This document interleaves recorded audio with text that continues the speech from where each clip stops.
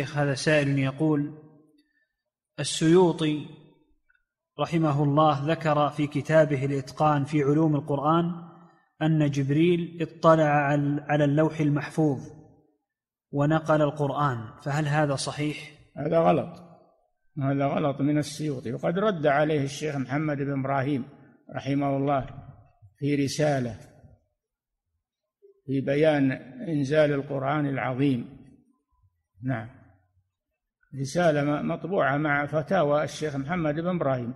رد على السيوطي هذا الكلام. إن جبريل أخذ القرآن من اللوح المحفوظ. نعم.